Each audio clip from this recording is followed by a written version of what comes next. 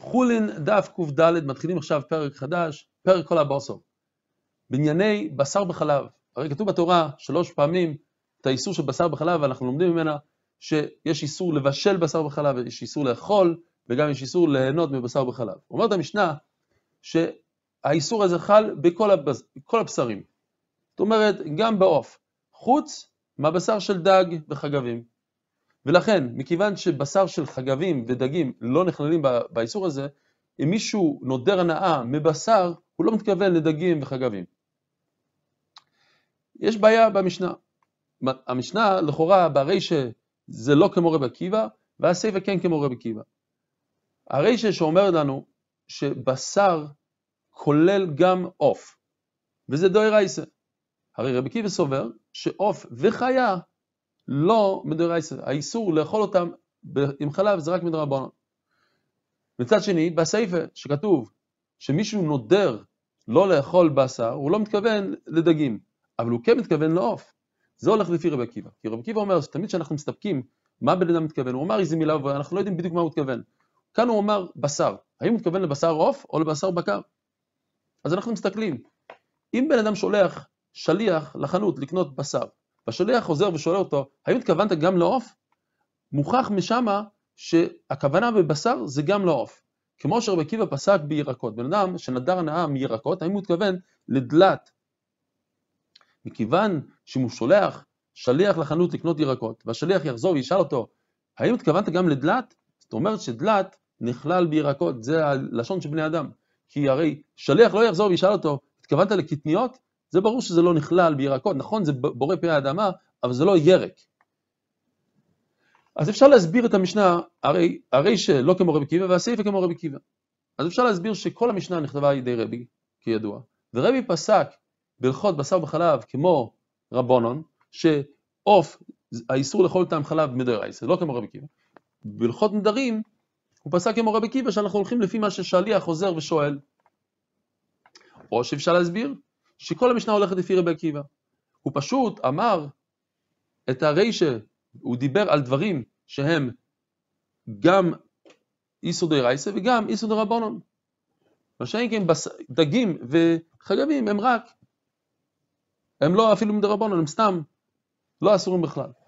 רבי יוסף ניסה להוכיח שעוף בחלב זה גם, זה דוירייסה, מכיוון שכתוב במשנה שאסור לשים על השולחן בשר עם חלב.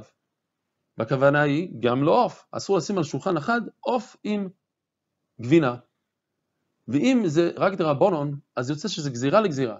כי כל הדרבנון, למה אסור לאכול עוף אם זה דרבנון? מכיוון שזה דומה לבקר. ולמה אסור לשים את זה על השולחן עם גבינה? כי אולי תאכל את זה. ואם תאכל את זה, אולי תאכל בשר בקר. אז זה גזירה לגזירה. אז מוכח שזה דוירייסה. האיסור עוף מדוירייסה.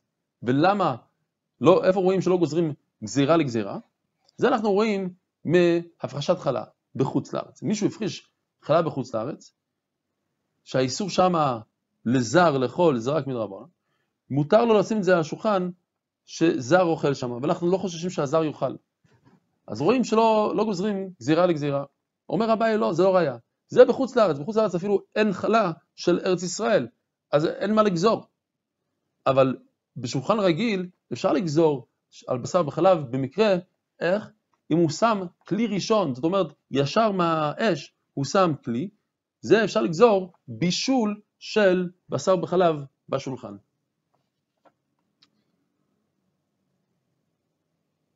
כתוב במשנה, משנה, שולחן שעורכים אותה לא לאכול, פשוט לסדר את האוכל.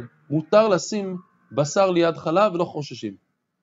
בשולחן רגיל שכן אוכלים, יש מחלוקת בית שמאי ובית האם מותר לשים עוף ליד חלב. בית שמאי אומרים שמותר, בית הלל אומרים שאסור. בא רבי יוסי ואומר, זה אחד מכולי בית שמאי.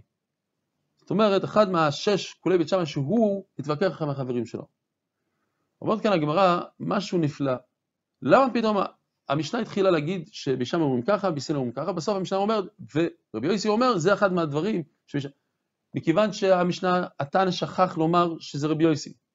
וכל לא אומר דבר בשם אומרו מביא גאולה לעולם, כמו שאנחנו רואים עכשיו בענייני דיומא, זה פורים, בענייני של פורים, אסתר אמרה למלך אחשוורוש, הרי מרדכי אמר לי, מכיוון שהיא אמרה מרדכי, היא הביאה את הגאולה, כי אחשוורוש זכר את מרדכי, ועל ידי זה גמרו את המן ואת בניו. ועל ידי זה השתלשל כל הדברים וגאולה לעולם. לכן בא התנא, אחרי שהוא שכח להגיד את השם של רבי יוסי, הוא אמר, אתם יודעים מי התנא שאמר ברישא? זה רבי יוסי.